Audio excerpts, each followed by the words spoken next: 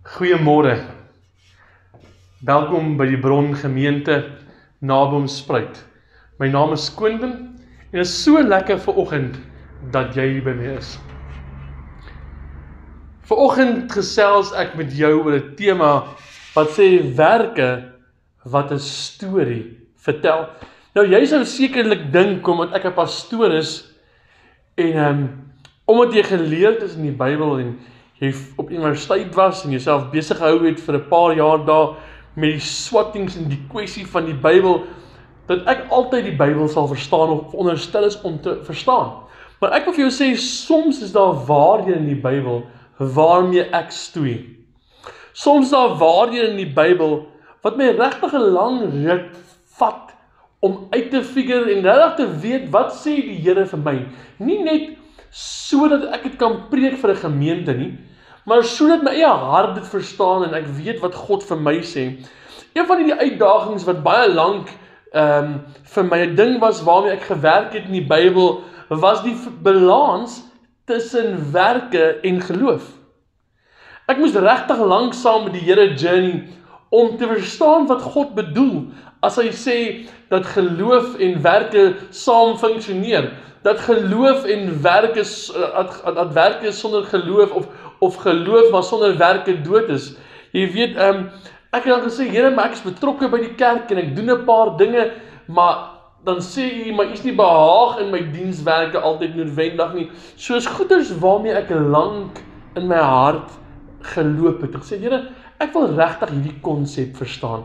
Ek wil regtig hoor wat U vir my sê. En miskien is daar konsepte soos daai in die woord waarmee jy ook soms vroeg en waarmee jy soms werk. En ek wil vir jou sê en ek het al baie vir jou gesê maar die Bybel is so indrukwekkende lewendige boek. Dis as ek vanoggend die Bybel optel en hom altyd vir my so gewees en ek lees die boek Handelinge, is dit vir my altyd asof ek dit vir die heel eerste keer lees. En dis wat ek so baie van die Bybel hou. Hy word vir my nooit oud nie. Is 'n boek wat konstant met my praat. En vanoggend wil ek met jou gespreek juis oor die kwessie wat my so lank besig gehou het. Ek wil vanoggend met jou praat oor werke wat 'n storie vertel. Ons hoor van geloof en ons hoor van werke en die skrifte wat daarmee saamgaan. Maar wat bedoel die skrywer as hy praat van geloof sonder werke is dood? Wat is die implikasie vir jou en my? Wat verwag God van my en jou as dit kom by geloof en werke? En hoe werk hierdie twee dinge? En um, hoe sal dit lyk as die twee goeders mekaar ontmoet?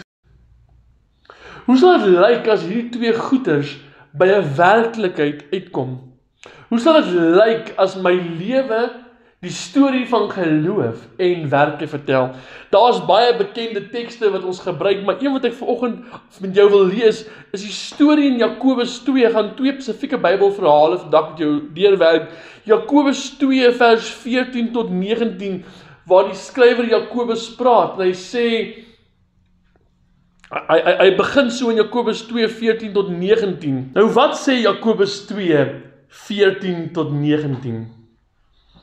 Hy sê my broers en my susters, wat help dit as 'n mens sê jy het geloof, maar jou lewe wys dit nie. So geloof kan jou nie verlos nie. Sê nou jy sien 'n Christen broer of 'n Christen suster wat kos en klere nodig het en jy sê, ek hoop dit gaan goed met jou, maar jy sorg nie dat jy warm maar sorg dat jy warm aantrek en goed eet, maar jy gee nie vir daardie persoon kos of klere nie. Wat help dit dan? Dis duidelik, net om te sê jy glo is nie genoeg nie.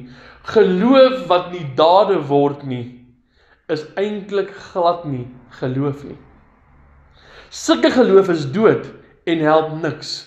Maar iemand sou kon redeneer, party mense het geloof en ander het dade. Ek sê vir jou, wys my jou geloof wat sonder dade is. Maar juis uit my dade sal ek jou my geloof kan verwys van waar my tema geloof wat 'n storie vertel of werke wat 'n storie vertel. Jy glo daar een God is, die demone glo dit ook en hulle sit er so bang is hulle. Jou dwaas, soek jy 'n bewys dat geloof sonder dade dood is? Jy sien jou werke moet 'n storie van geloof vertel. Ons ken baie skrifte en ons het al baie gehoor oor geloof.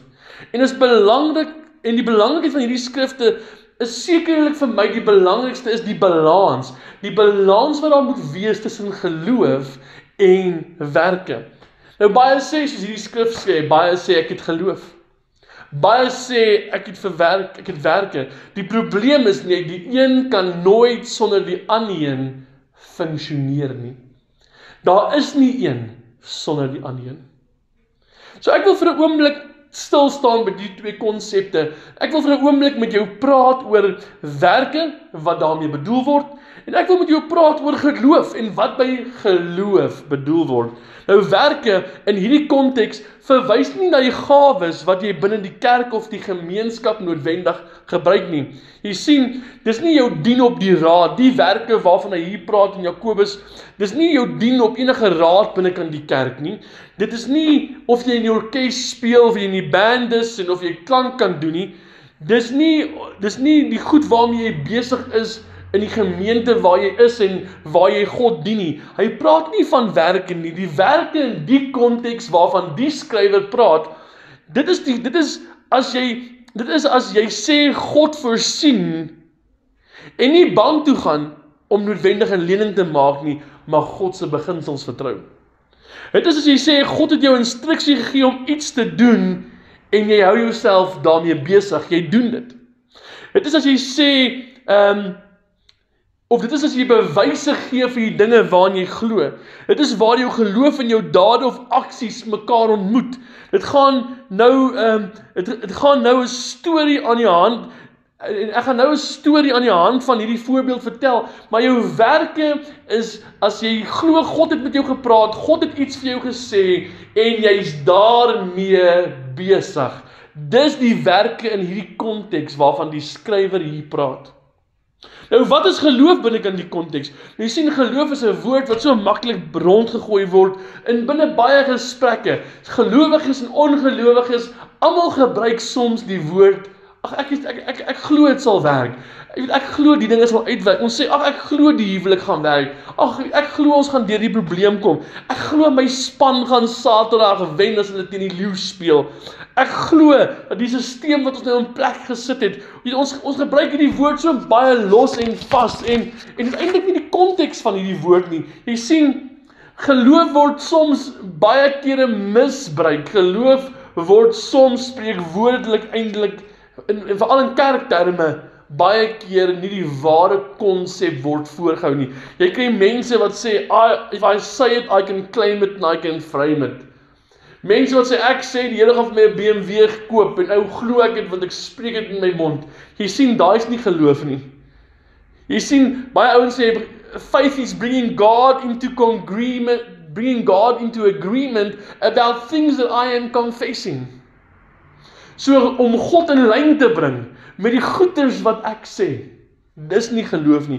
Jy sien Hebreërs 11 vers 1 sê, is 'n vaste vertroue in die dinge waarna ons uitsien dat dit sal gebeur. Dis 'n bewys dat die dinge wat ons nog nie sien nie, dat God dit sal waarmaak. Geloof, dit is 'n reaksie nie op die sienbare of die feitelike nie, maar op die hoor van God se instruksie en die uitvoering daarvan irrelevant van feite. Geloof is om te reageer op Jesus Christus se woord in jou lewe. Geloof is om te sê die Here het gepraat en ek het gedoen en die uitkoms het gewerk want die uitkoms was gebaseer op my gehoorsaamheid dat ek het gedoen wat die Here gesê het ek moes gedoen. It is coming into agreement about what God is saying. En nie wat ek sê nie, is ek wat in lyn kom met wat God sê. Dis nie God wat in lyn kom met wat ek sê nie. Dis die dis die manier waarop ek leef. Romeine 1:7 sê die geregtiges sal in geloof lewe. Die geregtiges sal in geloof lewe. Die wat uitverkoop is aan God sal in geloof lewe. Dis dis belangrik, dis hoe ek God tevrede stel. Hebreërs 11 vers 6 sonder geloof is dit onmoontlik om God te behaag. My geloof en my aksie behaag God. Here, ek glo en daarom doen ek. Ek glo jy het gespreek en daarom hou ek myself besig. Here, ek glo jy het gesê en daarom doen ek wat U van my vra. Dit is om jou geestelike oë oop te maak en nie om geestelik blind te wees nie. Want die skrif sê in 2 Korintiërs 5:7, "We walk by faith and not by sight." Ons doen nie omdat ons sien nie, ons doen omdat ons hoor en daarom glo ons. Jy sien hoe kry ek geloof? Hoe bou ek my geloof? Geloof kom deur te hoor sê die skrif. Wat te hoor? Geloof kom deur te hoor die die wat? Die woord van God. Romeine 10 vers 17. Nou wil ek vir 'n oombliekie gou hier stop. Geloof kom deur te hoor, wat te hoor? Die woord van God. Dis baie belangrik dat jy nou as jy nou hier stil staan vir 'n oomblik in Romeine 10 vers 17 dat jy sal onthou dat Paulus het nie hier gepraat oor die Bybel nie. Paulus het hier gepraat oor Jesus Christus, die woord. In die begin was die woord, die woord was met God, die woord was by God. Paulus praat hier van Jesus Christus. Hy sê geloof kom teer te hoor om te hoor wat Jesus Christus vir jou sê. In die konteks van, van Paulus se woorde hier, het Paulus nog nie 'n Bybel gehad wat ek en jy gehad het nie. Die Bybel wat ek en jy het, het omtrent eers kom ons sê miskien 150 jaar na Paulus het gedeeltes van die Bybel begin aan mekaar slaan. Maar Paulus het nie die Bybel gehad wat ek en jy gehad het nie. Hy het 'n groot gedeelte van die Ou Testament gehad wat hy gebruik het, maar hy het nie die Nuwe Testament gehad nie. Hulle was die skrywers van die Nuwe Testament. So 'n verwysing geloof kom deur te hoor, maar geloof kom deur te hoor die woord van Jesus Christus. Geloof word gebou deur jy wat hoor wat sê Jesus vir jou op die oomblik. Nou so kom ons sit hierdie storie binne konteks sodat jy sal verstaan wat beteken geloof en wat beteken werke. Ek wil vir jou 'n storie lees in Matteus 14 en 'n baie bekende storie kort voor dagbreek op jy kan hom saam lees in Matteus 14 25 tot 31 kort voor dagbreek het Jesus op die see na hulle aangeloop toe gekom. Toe die disippels hom sien op die see loop, was hulle verskrik en hulle het benoud begin skree want hulle het gedink dis 'n spook. Maar Jesus het dadelik vir hulle gesê: "Toe maar, moet julle nie ontstel nie. Dit is ek." Petrus sê toe vir hom, tipies hoe Petrus is: "Here, as dit regtig U is, laat my dan op die water na U toe kom." Jesus gee die mooi instruksie. Hy sê: "Kom dan." Petrus klim toe oor die kant van die skei en begin op die water na Jesus toe loop. Maar toe hy die hoë golwe rondom hom sien, het hy paniekerig geword en begin skree. En Jesus sê toe vir hom, en hy skree toe vir Jesus: "Here, red my." Jesus het onmiddellik sy hand uitgesteek en hom gegryp. Hy sê vir hom: "Jou geloof is bitter klein." Vreemde woorde om te hoor as hy sopas op die water geloop het, hy het gereageer op die woord van God. En Jesus sê vir hom: "Jou geloof is so klein." Petrus kom jy bang geword? Petrus, hoekom het jy vrees gehad? Petrus, het ek dan nie die een wat gesê het loop op die water nie? Kom geloof dan nie deur te hoor nie. Wat te hoor? Die woord van God. Het jy dan nie gehoor toe ek gesê het kom na my toe nie?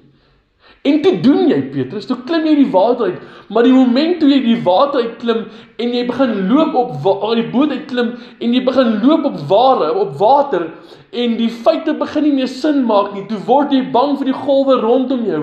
Ongelowige Petrus, ek is die een wat vir jou die instruksie gegee het. Ek is die een wat vir jou gesê het loop op die water Petrus. Waarom vertrou jy my nie?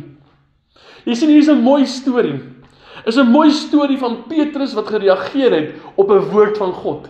Is 'n mooi storie van Petrus wat die instruksie van Jesus Christus gevolg het en dit wat Jesus gesê het gedoen het. Jy sien vertel jou werke 'n storie van ongeloof of vertel jou werke 'n storie van geloof. Jy sien want Petrus se werke het daar 'n storie van ongeloof of van geloof vertel. Hy het gedoen wat niemand nog voor hom gedoen het nie. Hy het, hy het gaan loop op water. Nou ek en jy weet ek hoef nie veel oor te sê nie. Niemand loop op water nie. Maar op die grond van Jesus Christus se woord loop enige iemand wat gehoorsaam is aan die instruksie wat Jesus op daai oomblik gee. Enige plek waar Jesus sê jy sal loop. En in daai oomblik toe loop Petrus op water.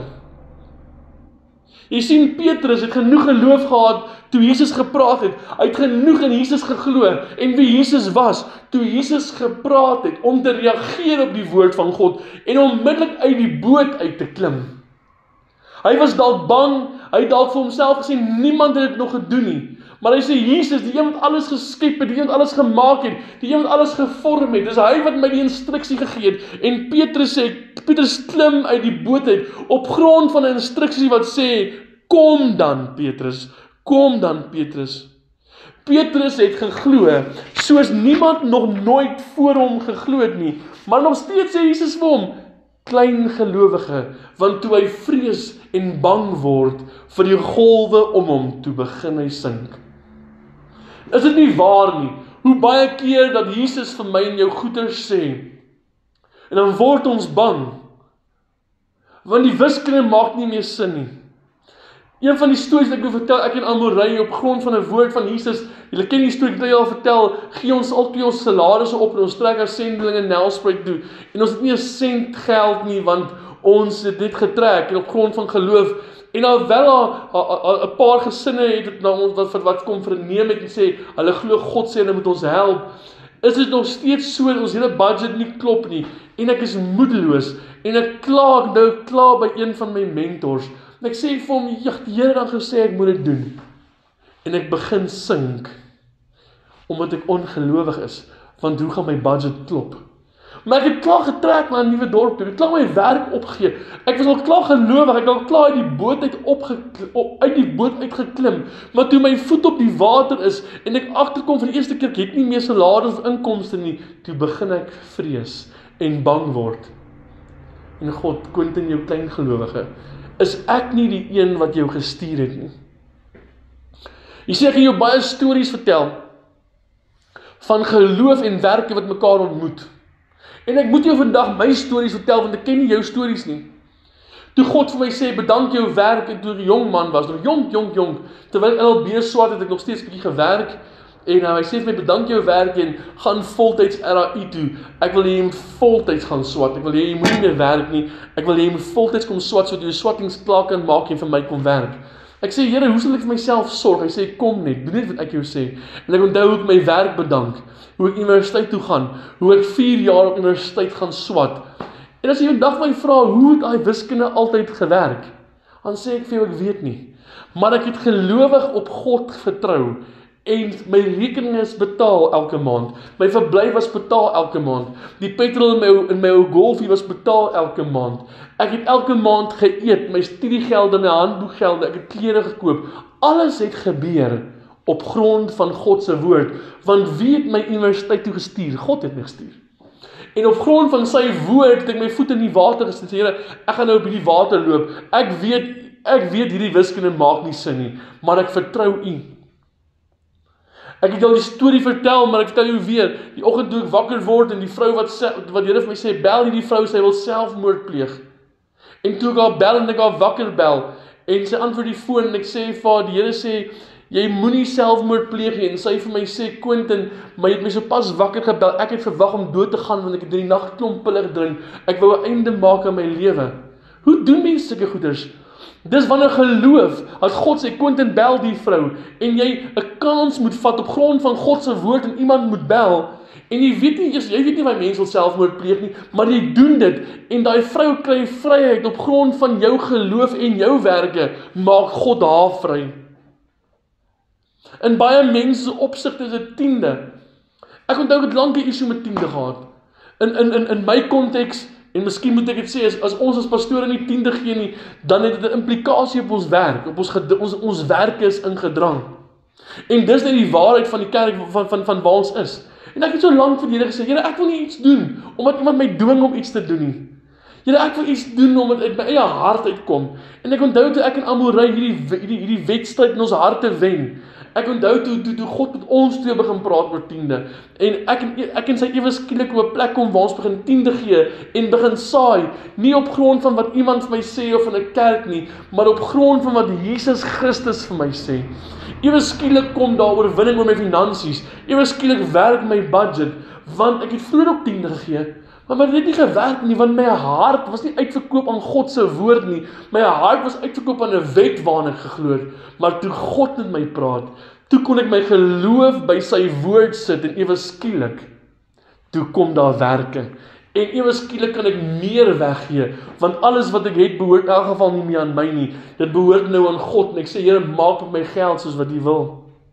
Ek onthou toe my seentjie opgeneem is in ICU omdat hy opgehou asemhaal het en hy blou is toe hulle hom indra. En die Here net vir my sê Quentin hy sal lewendig uitkom. Ewe skielik het al my vrees net verdwyn. Uh, al my vrees weggeraak. Ek het geweet God sê hy sal hier uitkom. Hy sal uit die ICU uitkom. Die dokter vertel vir my en Amorey na um, so 'n maand na ICU tel hy my Amorey toe ons daai kind indra by ICU, sê hy vir homself ons gaan hierdie kind begrawe. Maar God het 'n woord gehad. En die oomblik toe ek met vrymoedigheid kon sê God het gepraat, ek weet wat sê God. Amorey word Amorey word getrens. En onmiddellik my bel se Quentin ek getrens. Hoor ek die woorde, alle dinge werk ten goeie mee vir hulle wat my liefhet. Ek ry na haar toe en sê huil by die werk. Ek sê vir die Here sê alle dinge werk ten goeie mee, moenie huil nie. En ek onthou 3 maande later by daai selfde plek waar sy gewerk het, arresteer hulle al die personeel vir bedrog. En die Here het so gereël dat Amorey wegkom by die maatskappy voor daai popo die fan die fan geslaan het. Jy sien jou geloof en jou werke moet mekaar ontmoet. Sal met my storie naby hom spruit. Ek het lekker in Kimberley gebly. Het lekker gewerk in Kimberley. Daar was 'n indrukwekkende span met indrukwekkende mense, indrukwekkende vriende, maar God sê trek naby hom spruit toe. Ek sê Here, ek sal my geloof in my werke sit. Ek sal ek sal die beroep aanvaar, want U het gesê ek moet kom. En weet jy wat 'n lekker deel daarvan? Nou is ek vry van alles want God het my gestuur en as God my gestuur het, dan moet God dit help maak werk. Dan moet God met my praat en met al die probleme en uitdagings en alles wat daar is, gee ek vir God en sê Here, dis U se Here, want U het my gestuur. U weet wat voor lê. U weet wat hier gaan gebeur en jou geloof moet jou werke ontmoet. Iewerste moet jy uit die boot uitkom. Iewerste as Jesus met jou praat, maak nie saak hoe belaglik nie, maak nie saak hoe hoe hoe vreemd nie. Iewerste moet jy begin werke hê wat 'n storie vertel. Wat 'n storie vertel jou werke op die oomblik? Wat 'n storie vertel jou werke waarmee jy besig is? Wat sê jou werke tans van jou geloof? Sê dit dat jou dat jy baie geloof het? Sê dat jy min geloof het want ek hoor so baie mense my vertel Quentin die Here het vir my gesê vanoggend met diens ek moet opstaan en 'n tale bring.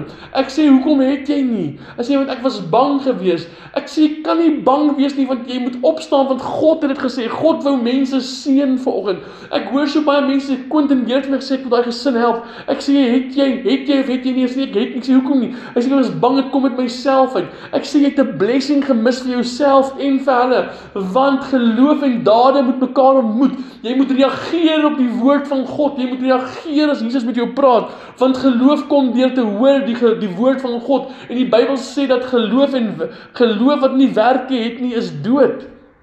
Jy kan nie sê ek glo God, maar ek doen nie wat God sê nie. Ek sê ek kan nie sê ek glo Jesus Christus, maar ek doen nie sy instruksies wat hy vir my vra nie. Jy kan nie sê ek ek's 'n gelowige en Here ek's uitverkoop aan U, aan U, maar as hy met jou praat, doen jy nie wat hy vir jou vra nie. Jy sien geloof sonder werke is dood.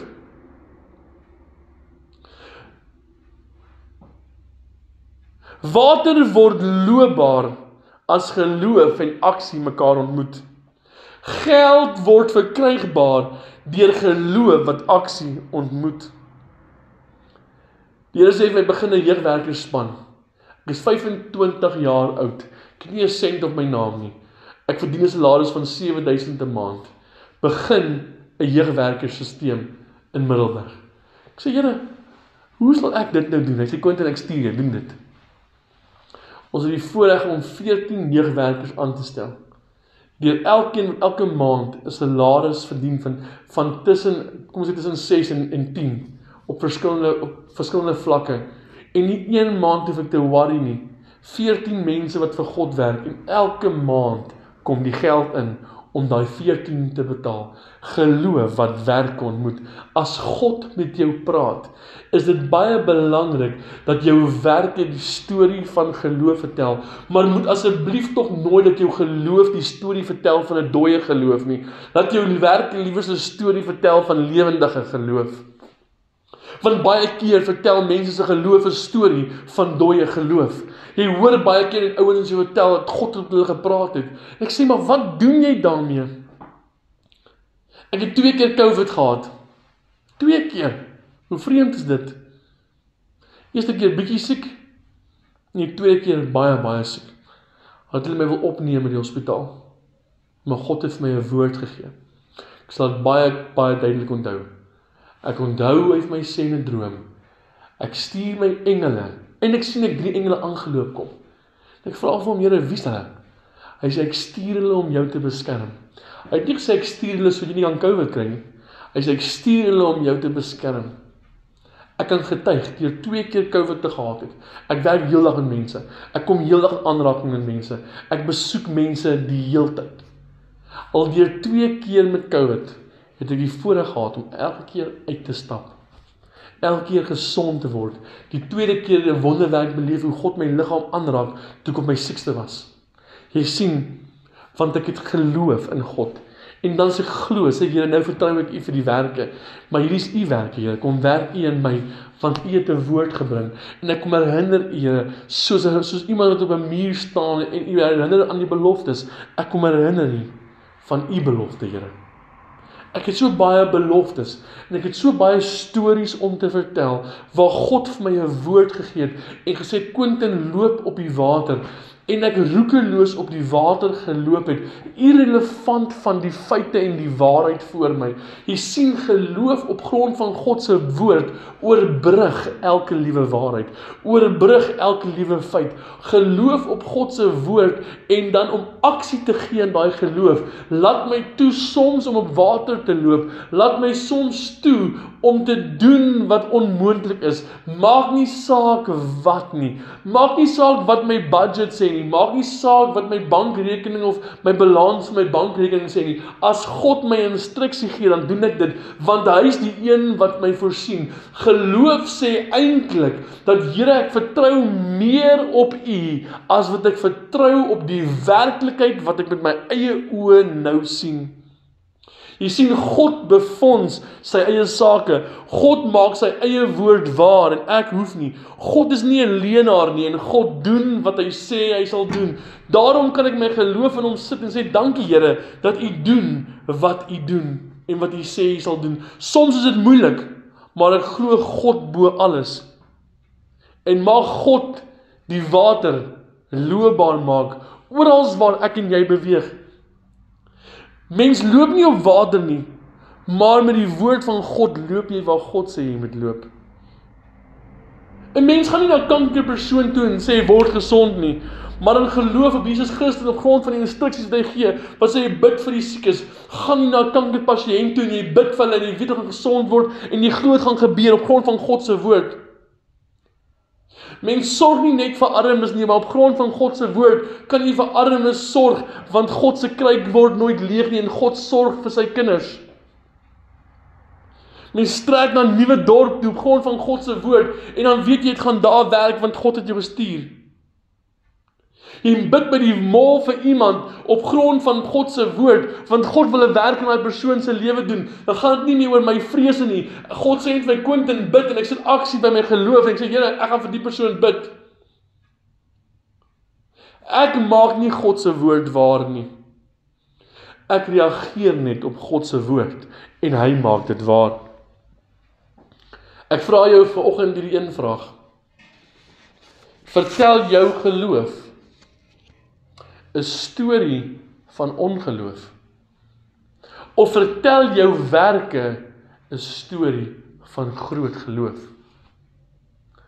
Ek wil vir jou sê soms is dit moeilik.